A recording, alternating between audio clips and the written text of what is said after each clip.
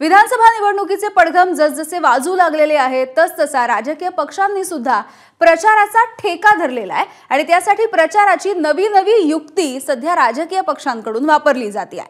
आता ही शिंदे सेनेने नारी शक्तीच्या मतांवरती डोळा ठेवलाय आणि एक मेगा प्लॅन केलेला आहे. बघूयात लाडकी बहीण योजनेनंतरचा प्रचाराचा दुसरा अंक नेमका कसा असेल या स्पेशल रिपोर्टमधून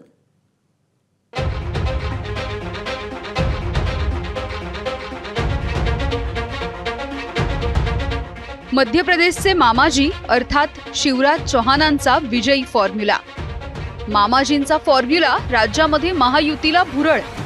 विधानसभा जसजशी जवळ येते तसतसे मतांची बेगमी करण्याचे वेगवेगळे फंडे राजकीय पक्ष शोधतात राज्य सरकारने अर्थसंकल्पामध्ये लाडकी बहीण योजना सुरू केली. त्याचा गाजावाजा करत प्रचार आणि प्रसारही झाला.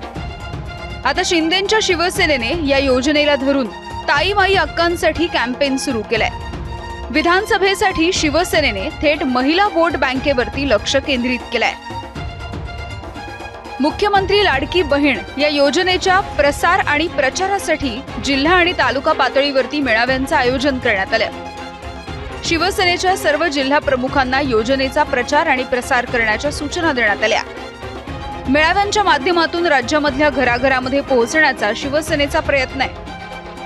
सिल्लोडमध्ये दोन ऑगस्टच्या मेळाव्यामधून कॅम्पेनची सुरुवात होती आहे अजित पवारांनी पिंक पॉलिटिक्सचा आधार घेतलेला आहे. अजित पवारांच्या राष्ट्रवादीची पोस्टर्स गुलाबी दिसू लागली आहेत अजित पवारांनी तर चक्क बारा गुलाबी जॅकेट्स शिवल्याचं सुद्धा सांगितलं जात आहे या निमित्ताने महिलांच्या मतांसाठी रस्सीखेच रंगली आहे.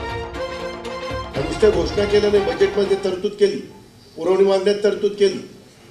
मुख्यमंत्री माझी लाडकी बहीण योजना. आज सगळ्या महिलांच्या मध्ये एक उत्साहाचं वातावरण आहे. परंतु त्याच्यातच सांगायला सुरुवात केली. अरे म्हणले वित्त विभागाचा विरोध आहे. अरे वित्त विभागाचा मंत्री मी आहे कुणी विरोध केला? अजितदादांनी इतकी जोरदार बॅटिंग केली आहे.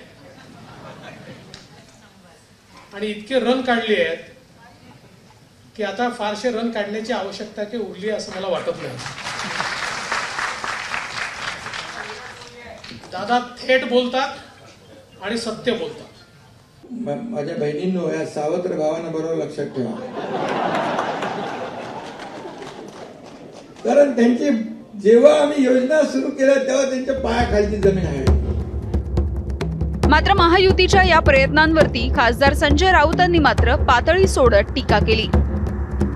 विधानसभेसाठी एकनाथ शिंदे शिवसेनेच्या वतीने ताई माई अक्का हे अभियान सुरू करण्यात.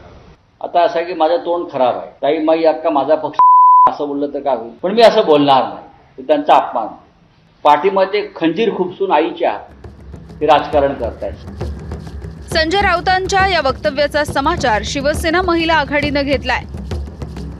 मी असं म्हणेन की ताई माई अक्का संजय राऊत असं मी म्हणत नाही. असं मला म्हणायचं नाहीये. मला काय म्हणायचंय?